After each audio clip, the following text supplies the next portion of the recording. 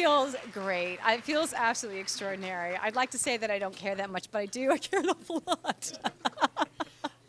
I had two nominations tonight. Yes, I did. Yeah, I did. And I'm, I'm so happy for Amy. She's so wonderful in the movie. It was great to see her win. And I'm, I'm very, it's, this is just a lovely honor. Thank you so much.